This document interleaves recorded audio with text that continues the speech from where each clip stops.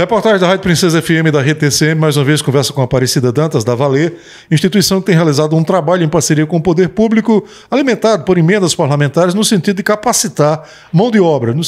A cidade e a região têm experimentado a chegada de grandes investimentos nessa área de geração de energias renováveis. E há necessidade de capacitar profissionais nesse segmento. Independente disso, em outras áreas também, a Valer tem realizado esse trabalho. E nesta segunda-feira, mais uma um calendário de inscrições está sendo iniciado para uma nova oferta de cursos, mas é a própria Aparecida que nos dá as informações. Bom dia. Bom dia, Lúcio. Bom dia, ouvintes da Rádio Princesa e também da TCM. É um prazer estarmos aqui para falarmos de coisas boas, coisas boas.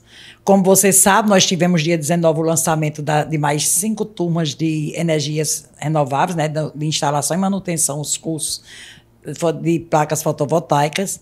Estamos com três ah, em andamento, já que para encerrar agora na próxima semana. E após o carnaval, nós começamos com mais duas turmas. Serão capacitados um total de, ao todo de 324, contando com aquela primeira que teve, né? E agora, segunda-feira, como você falou, nós estamos começando as inscrições, que é dia 6 e 7, para duas turmas de eletricista predial e residencial. Por que isso? Porque nós sabemos que o programa Minha Casa Minha Vida está voltando. E quando volta, é um momento de aquecer a economia e também de gerar trabalho e renda. E nós sabemos que essa área aqui no nosso município existe uma demanda reprimida de profissionais, não só na área de eletricista, mas também em outras áreas.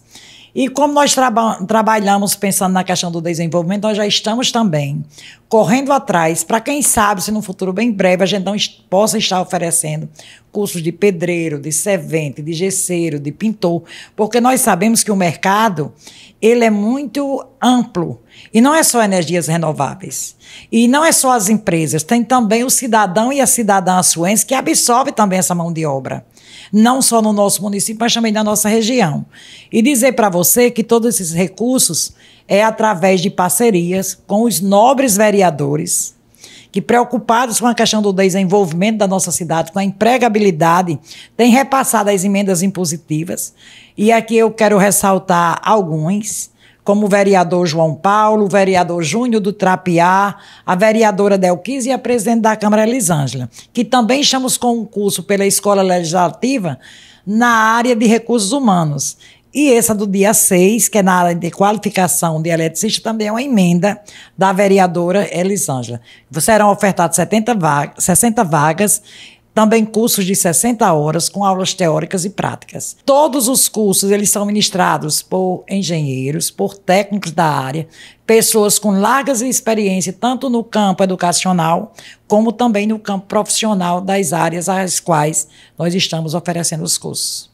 Aparecida, logo que foi dada essa oportunidade, houve um número bem expressivo de pessoas que buscou a valer no sentido de participar desse curso. Isso criou uma demanda muito grande. Como é que vocês estão administrando para finalmente dar a oportunidade a todos que se inscreveram de poder participar dessa capacitação? Claro que está sendo trabalhada toda uma engenharia, porque também não pode extrapolar, há um limite, há, o limite está estabelecido na dotação financeira disponível.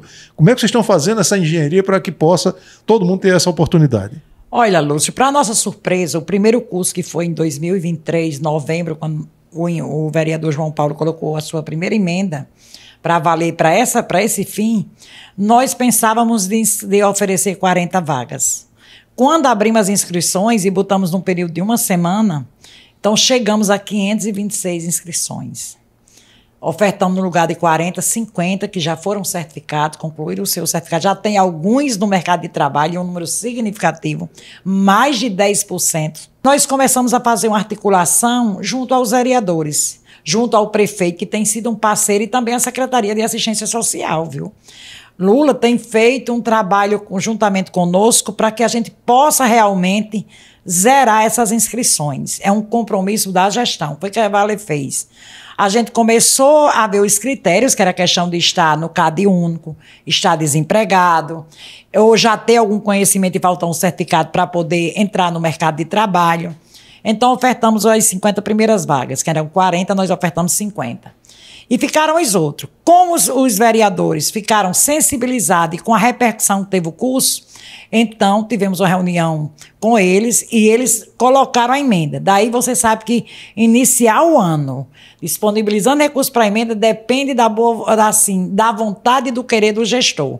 E aí entrou o doutor Gustavo, junto com o secretário Luiz Eduardo, que realmente agora em janeiro já podemos liberar as primeiras emendas para esses cursos que, esses, que estão fazendo agora as três, as cinco turmas. Então, isso é um diferencial na gestão. de que a Sul está vivendo um momento ímpar, que nunca teve tanto curso de qualificação. Nós somos açuenses, nós sabemos, com recursos do município, porque as emendas são recursos do município, como agora. Nós tivemos aí, há anos atrás, uma gama muito grande de cursos, mas era um programa do governo federal que era o Pronatec.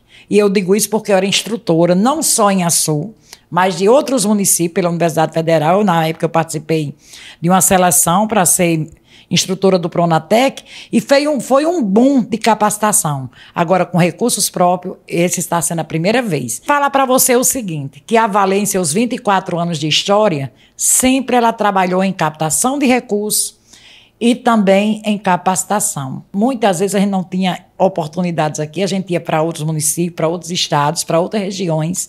Como vocês sabem que nós trabalhamos praticamente em outras regiões do país. Eu digo muito que a Valela foi primeiro reconhecida lá fora para depois ser aqui. Mas também nós temos projetos e trabalhos relevantes em Açu. E um dos primeiros projetos foi a Agenda 21, que eu acho que você lembra, que ainda hoje permanece ainda muito atualizada com as estratégias da Agenda 2030, que são os ODS.